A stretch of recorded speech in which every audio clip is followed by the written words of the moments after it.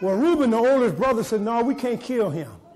We can't have that blood on our hand. We got to do something with him. Let's just throw him in a hole. And the whole while Reuben was telling his brothers this, he was plotting to come back later to rescue his brother uh, Joseph so he wouldn't be killed. But the Bible said, here come the Midianites of the Ishmaelite tribe. Ishmaelites of the Midianite tribe. Here they come and they was taking precious cargo from where they were down to Egypt. And one of the brothers said, look, we can get rid of Joseph and make some money too. You know, some plotting folks today. Come on, somebody. Always scheming because they're under the remote control. Always plotting because they're under the self-control. But when you ask them to live under the spirit control, they don't even want to show up Bible study. They don't want to show up at Sunday school. Oh, see, y'all don't want to say amen because you're still the self-control. I ain't going. I don't care what kind of Bible class they have. I got to see my favorite program, Basic Black. Ain't nothing on TV more important than Bible study. And we out but two nights out of the week or two days out of the week, Thursday and Sunday. Amen? Ain't no real pressure put on nobody. I don't call nobody up and say, how come you won't have Bible study? Maybe I should.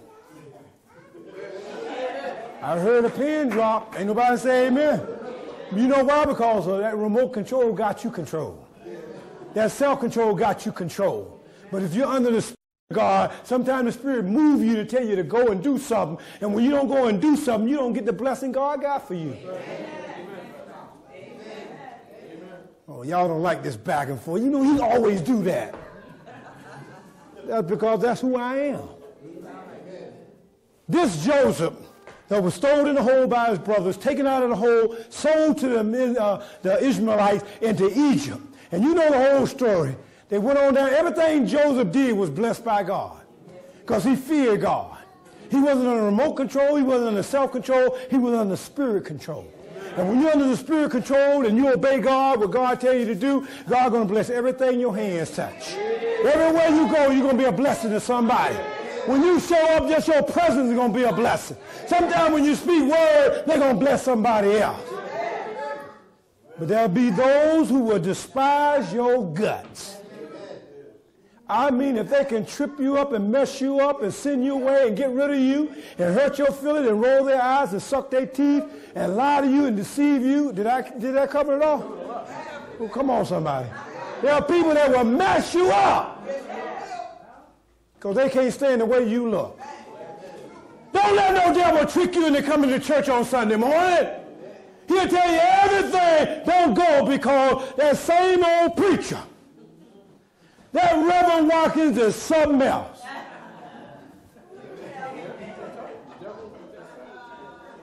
He married with me and I'm mad with him and the feeling is mutual.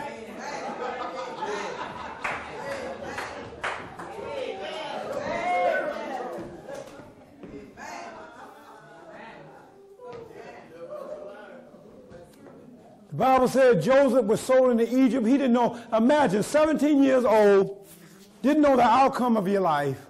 He'd been knocked down and beat up and scuffed up. Nose been bloody. Come on, somebody.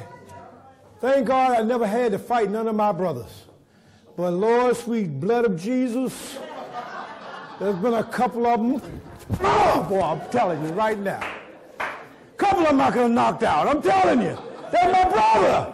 It took the spirit, boy. I'm telling you. Not self-control, not remote control, but the spirit control.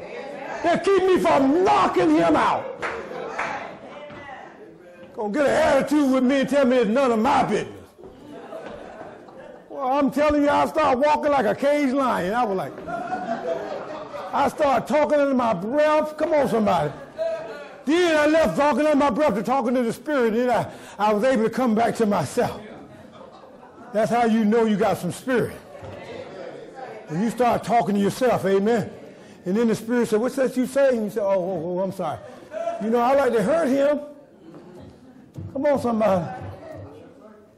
Okay, y'all don't know what I'm talking about. Joseph went on down to Egypt in bondage. Y'all know the story. Got down to Potiphar's house because Potiphar need a servant to run his household. Now, though he was doing what God called him to do and wasn't fully aware of all that was happening, there was a Potiphar's wife. Y'all don't look at me like that. Because see, when a man go after little children, boys or girls, he's a pedophile. Is that right? But when a woman go after little children, uh, a little younger men, she's called a cougar. A cougar. Don't y'all look at me like that, no? In other words, Potiphar's wife, when she saw Joseph and wanted him, she wants some young blood. She wants some young meat. Amen? Potiphar won't throw him down no more. Let's be real with it. Oh, come on. If you read the story, you find out every day she was targeting and putting on him to try to get him to lay down with her, but he refused because he said it's a sin for a man to lay down with another man's wife. With the Lord. If you line up with this one and line up for that one, it's a sin in the eyesight of God. See, y'all didn't think I know what I was talking about. You got to know at 57 years of age this year, I ought to know what I'm talking about. After 35 years of marriage, I do know a little bit of something. But don't look at me like I got another hair growing out the side of my neck. Because I know exactly what I'm talking about. She turned into a cougar because she wanted to be with him. He refused to be with her. Day in and day out. She plotting and scheming. Let me tell you something, brother. Let me tell you something. Let me tell you something. Oh, y'all waiting for me to tell you? Uh-huh. I figure that next time. When a woman is after a man, and a man is under self-control or remote control, she gonna debunk that control. Come on, somebody. While men were learning about snip snails and puppy dog tails. Women will learn about sugar and spice and. Oh, come on, somebody.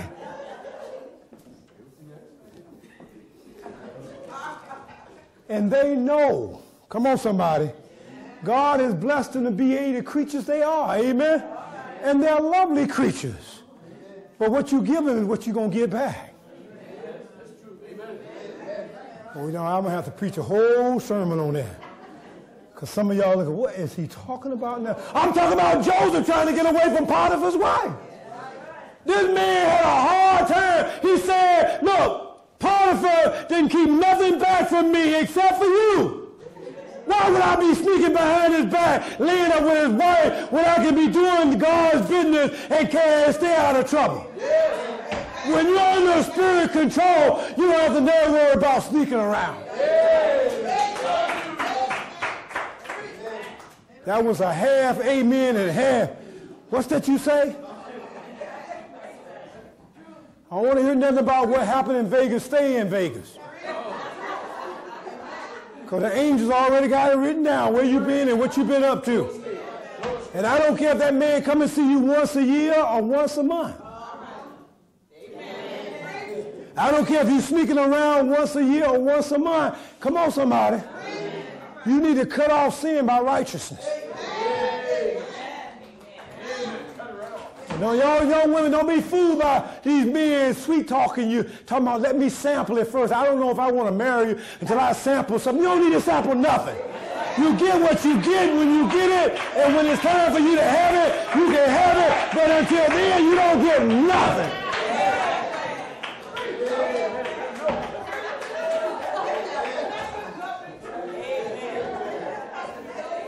I better go on the end this sermon. It's getting, y'all look like y'all enjoying yourself. Maybe by, by him being in that tornado, he must have did something to his mind. He's spinning like that tornado. Come on, son. I know what I'm talking about. The only reason why Joseph didn't go and jump in, in the sack or jump in the bed with Potiphar's wife because he was under the spirit control. And so since she figured, well, that rascal, he's smart. See, the devil's always cunning.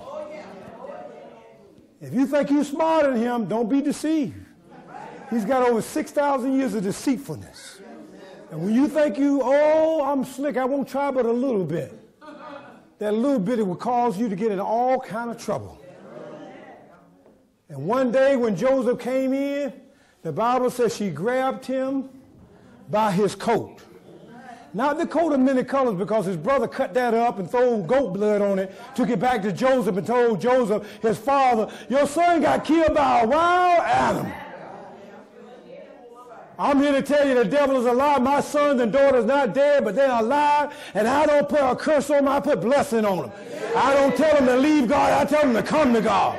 I tell them they're bought by the blood of Jesus Christ and by the anointing of God. I claim their souls right here and right now. Joseph was probably taking care of his family business, taking care of part of his house. He probably was a good-looking man, walking through dignified. Come on, somebody. See, today, these people are so deceitful. They ain't just after some, some man going to church. They after the pastor.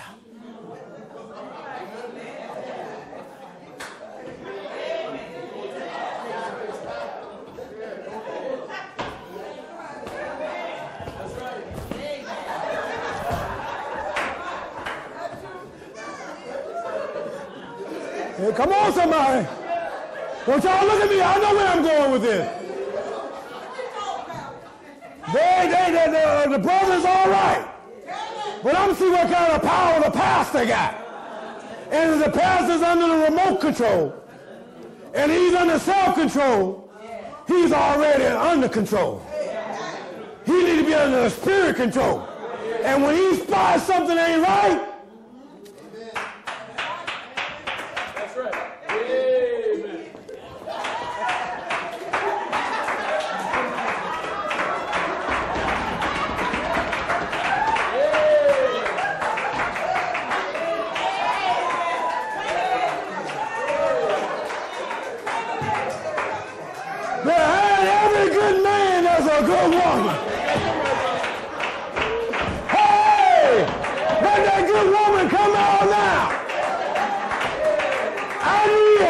Holy Ghost.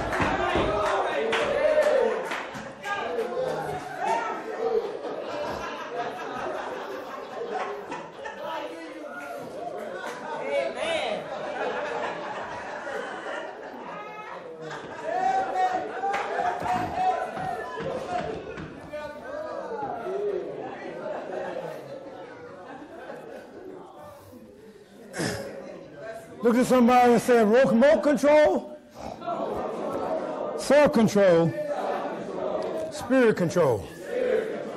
Joseph went out doing his business, and one day Potiphar's wife got him by the coat, and he tried to get away.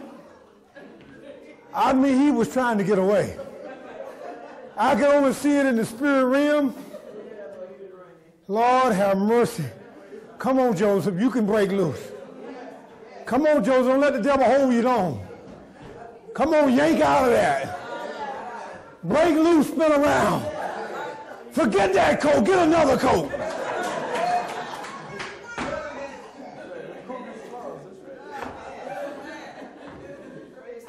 I mean, Joseph, come out of that coat like Richmond came out of Virginia.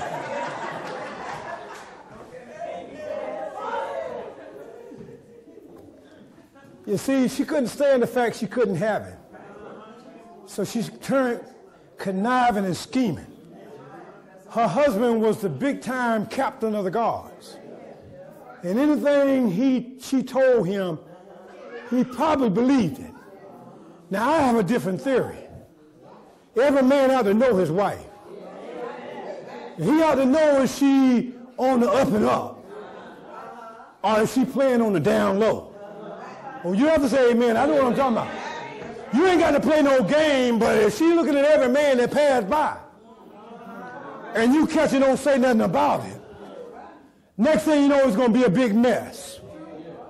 And I'm sure Potiphar was worried about whether his wife was telling the truth or lying.